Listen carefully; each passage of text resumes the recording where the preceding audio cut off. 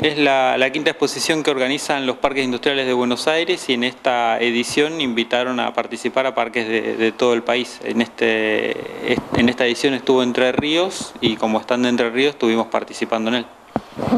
Hubo rueda de negocios, hubo empresarios que se interesaran por eh, invertir en parques industriales o hubo eh, gente que vende servicios parques industriales. Más que nada hubo, sí, fueron charlas para parques industriales, intercambio entre parques industriales y sí, muchas empresas de productos y servicios que, intentaban acercarse a los parques industriales. En el caso de Gualeguaychú participó de, junto con otros parques industriales de la provincia de Entre Ríos tuvieron un día específico para ustedes? Eh, tuvimos, tuvimos un momento, digamos, la apertura digamos, del stand fue, fue de nuestro parque y después ahí se fueron sucediendo el resto de los parques de la provincia. No fueron todos, pero sí la, la mayoría estuvieron presentes. ¿Para qué sirven este, e, e, estas reuniones? La verdad que primero por ahí para para promocionarse, si bien no es el mejor momento, porque no es que no, haya habido eh, por ahí consultas de algún industrial, pero es muy, muy bajo el, nivel de participación del industrial que está buscando un, terreno en un parque para, para radicarse. Además hoy con el tema de, internet, redes sociales y demás, eh, la, información se, se consigue relativamente rápido pero sí para establecer por ahí redes de, contacto y, por ahí trabajos conjuntos entre los, mismos parques de la provincia, con otros que, están cerca. Esa vinculación siempre está buena. ¿Todos los parques industriales tienen la misma realidad hoy?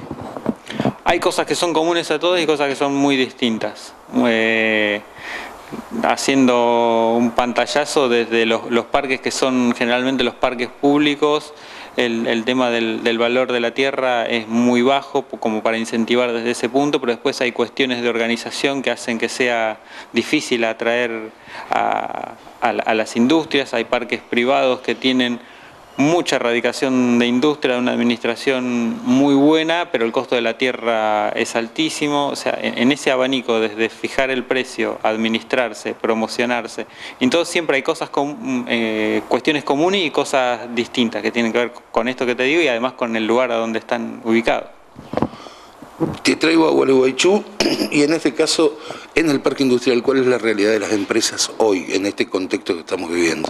Siempre es difícil establecer una realidad del parque por la variedad de las, de las empresas que hay dentro del parque, por escalas y, rubros, eh, son, son muy diversas. En general, en esta coyuntura es difícil eh, decir que a alguna le va bien, digamos, es o, sobreviven o la, pasan... Eh, como pueden y, hay otras que están sí en, dificultades eh, tratando de, obviamente, de no tener que perder puestos de trabajo, de mantener su, su mercado y, sobrevivir como, como se puede.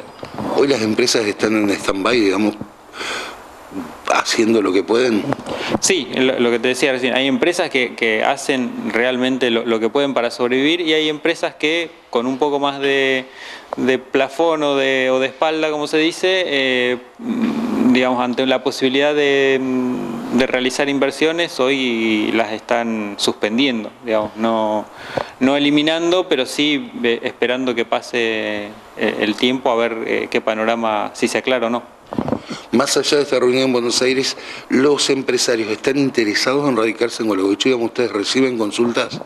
Consultas hay siempre. Eh, ha bajado igual el, nivel o la cantidad de, consultas. Yo creo que cada vez eh, se va a hacer más difícil el tema de atracción de industrias de afuera.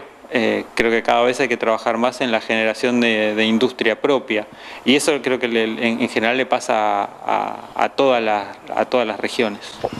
Eh, en el caso de Gualeguaychú,